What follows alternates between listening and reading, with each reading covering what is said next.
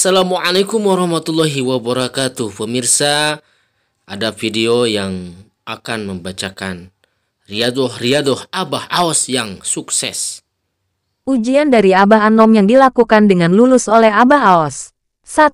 Di awal belajar Toriko Abah Aos ditinggalkan seluruh jamaah majelis taklim karena difitnah sesat telah mengikuti TKN 2. Abah Aos mengalami ujian miskin yang luar biasa Sampai, sampai hanya mampu merebus air menggodok batu.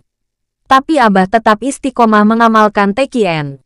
3. Selama lima tahun Abah Aos setiap hari jalan kaki sirna rasa, Suryalaya untuk soba kepada Abah Anom. 4.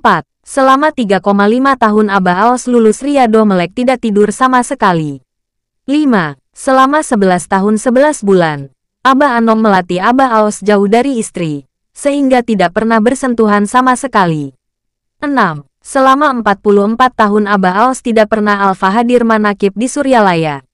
Hanya dua kali tidak hadir karena ditugas ke Malaysia dan karena ibadah haji. 7. Abah Aos lulus melaksanakan perintah Abah Anom mengembangkan manakib sampai 38 negara. 8. Sampai sekarang Abah Aos tidak pernah istirahat tidur terlentang di atas tikar kasur. Istirahat Abah Aos hanya tawajuh duduk di atas sajadah kursi seperti halnya Abah Anom.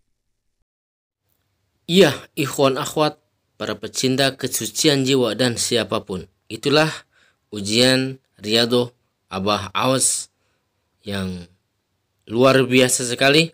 Belum tentu kebanyakan manusia bisa melakukan riado-riado tersebut. Ini hanya orang-orang pilihan yang mampu melaksanakan riado-riado tersebut. Semoga bermanfaat. Wassalamualaikum warahmatullahi wabarakatuh.